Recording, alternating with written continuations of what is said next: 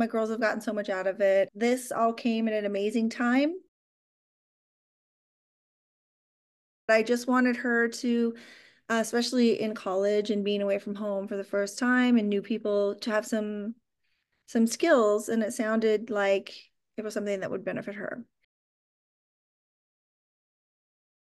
She was having really bad migraines, but then in the process, we found out that you know she mostly having really bad anxiety. Oh, I, and she would get up in the morning and get ready for school every day, and then she would just wow frozen. She was really school avoidant. Step outside of their comfort zone, learn some of the tools in initiating those connections with people, mm-hmm. um, and things that kids don't really know, like subtle things, things that adults don't know. Like oh. what you're really telling somebody by what you're doing is not necessarily what you think you are. And so learning that social intelligence, how to feel more comfortable in your own skin, to relate to other people, stepping outside of themselves and engaging with other people initially w- without fear going outside of their comfort zone and it being more fun like you know you know seeing things in a way hearing them talk about their nervous system which you know was something like you've really educated them on. They they didn't know anything about that really. Not in those words not in that way.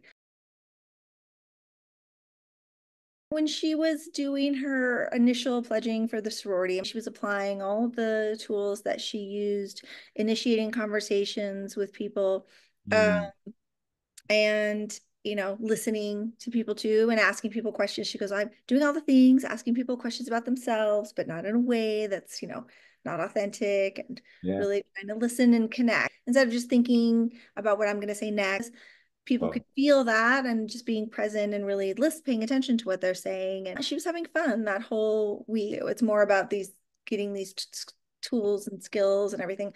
I feel like she applies them. I know she went to another birthday party for a girlfriend of hers that she hadn't seen in a long time. She had the most amazing time.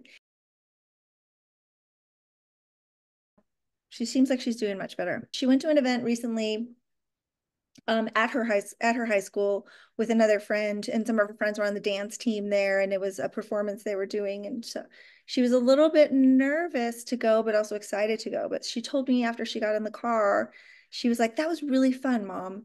She was like, and and I was I didn't feel you know those awkward silences that you usually have. Like I didn't feel that at all and I felt like I was keep we I was helping keep the conversation flowing. And even if there was silence, like I, I wasn't feeling weird.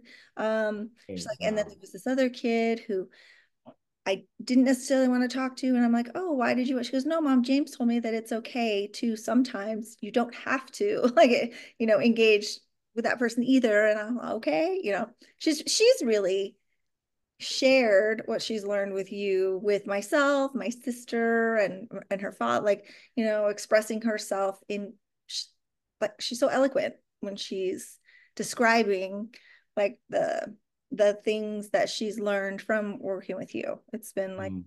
amazing at dance she something that maybe she would have been too scared of to do before so she was cast in this group you know catty kind of mean girl group she, she cares less she's just like mm. girls are mean girling today, like whatever. Instead of getting super upset about it, yeah. she seems to be handling all of that better.